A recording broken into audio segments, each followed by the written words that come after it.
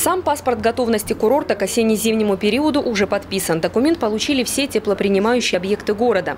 Это жилые дома, детские сады и школы. Кстати, учреждения образования и здравоохранения, обратившиеся в теплоэнерго с просьбой досрочно включить отопление, его уже получают. Подготовка самого предприятия к зиме окончена заблаговременно. Проверка Ростехнадзора нарушений не выявила. Сочи теплоэнерго было выдано предписание Ростехнадзора общим объемом 126 пунктов.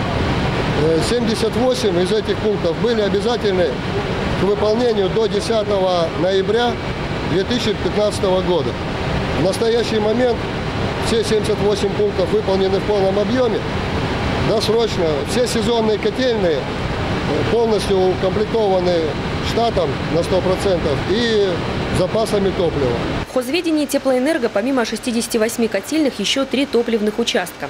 Плановый ремонт показал, что никаких сбоев в работе оборудования быть не может. Объекты готовы к работе как в осенне-зимний период 2015 так и 2016 года. А все жидкотопливные котельные, расположенные в основном в Адлере и Красной Поляне, газифицированы, что также будет способствовать более эффективной работе. Включить же отопление досрочно по обращениям граждан Сочи Теплоэнерго готова в течение суток. Многомиллионные долги отмечает руководство предприятия, на начало отопительного сезона никак не повлияют. К тому же они снижены на 50%. С определенными контрагентами подписаны графики погашения задолженности. Э, по газу задолженность тоже оплачивается, роста ее не происходит.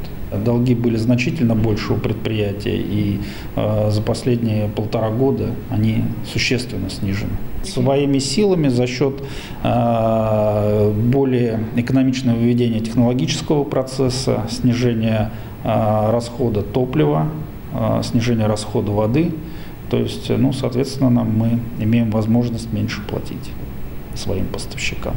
Напомним, по графику тепло в дома сочинцев поступит 15 ноября. Галина Моисеева, Инга Габеша, Демид Даниловский, телекомпания ФКТ.